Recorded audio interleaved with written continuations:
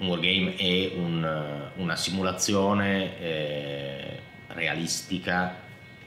tutto come dire le virgolette del caso, perché insomma attorno alla parola realismo applicata al wargame, insomma dire, potremmo, potremmo, discutere a lungo, eh, è una simulazione di un evento bellico di un qualche tipo, una battaglia, una guerra. A questo laboratorio ci siamo arrivati attraverso un, un percorso un po', un po', anomalo, se vogliamo, nel senso che eh, Riccardo è un game scholar di, di, di formazione. Eh, io lo sono di acquisizione, nel senso che eh, quello che è successo nel, nel, mio caso specifico è che io ho passato un pezzo consistente della mia giovinezza a giocare a wargame accanitamente. Dunque, negli ultimi anni con Riccardo abbiamo, come dire, tanto giochiamo tanto, e ehm, abbiamo imbastito alcuni progetti appunto di articoli, di presentazione a convegni, eh, abbiamo disegnato un, anzi stiamo disegnando ben due giochi. E quindi diciamo a un certo punto abbiamo pensato di, di, di, di aprire questo tipo di lavoro che stiamo facendo anche agli studenti. E, e, quindi insomma questo è il terzo anno del laboratorio che appunto che è un'introduzione a, a un tipo di giochi che diciamo che nel, in Italia soprattutto non è che siano molto, molto diffusi ma che insomma hanno un audience di, di nicchia però pur sempre un audience.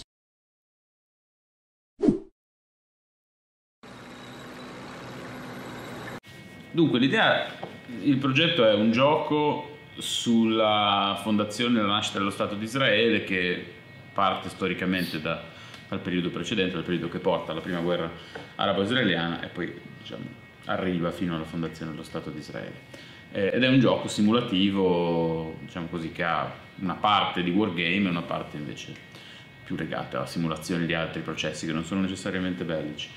e un paio di anni fa abbiamo deciso che questo argomento ci interessava, che era un argomento che, che dal punto di vista delle sue complessità storiche e storiografiche eh, Jaime aveva già affrontato per altri progetti e, e con, altri, con, altre intenzioni altre finalità e che io diciamo, conoscevo i modi e le pratiche con cui si può iniziare a pensare a progettare un gioco e a farne il design e quindi negli ultimi due anni ci siamo dedicati con un processo un po' duplice, cioè prima di consolidamento di quello che sapevamo di quella storia, perché ovviamente quando tu fai un gioco che è una simulazione di qualcosa devi chiederti che cosa di quel processo, di quel momento storico, di quell'evento si presta e in che modo si presta a diventare un gioco. E di lì insomma è un processo che sta arrivando direi alla fine a questo punto perché siamo in una fase abbastanza avanzata del design.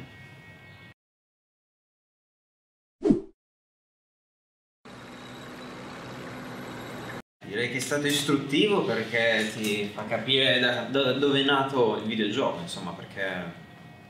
qui si sta parlando di un gioco di strategia, un gioco tattico, e sono gli albori di quello che poi sono stati i videogiochi, appunto anche gli strategici,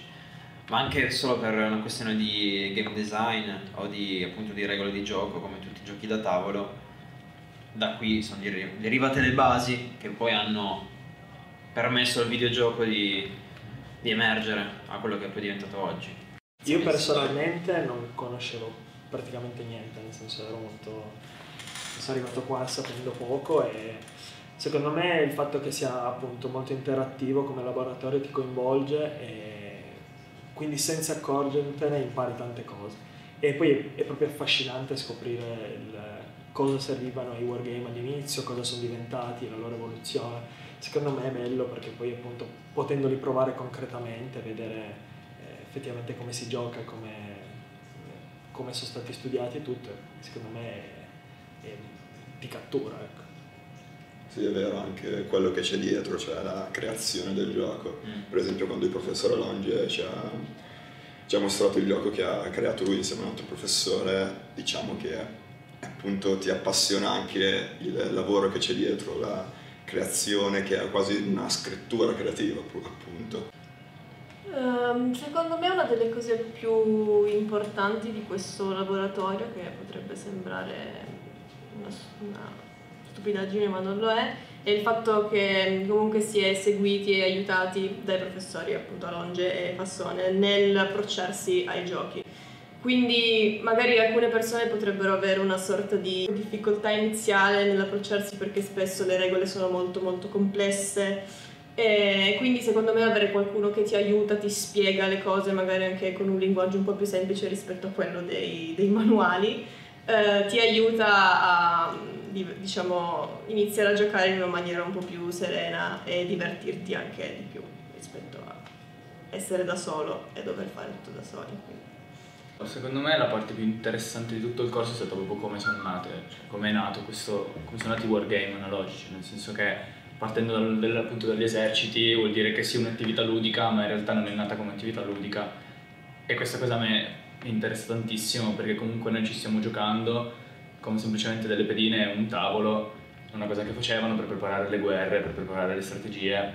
e addestravano le persone a pensare, avere una mente aperta a ipotizzare qualsiasi tipo di scenario. E questa cosa mi è piaciuta tantissimo perché non, non lo sapevo nemmeno, quindi è una cosa che ho imparato e sono, sono contento.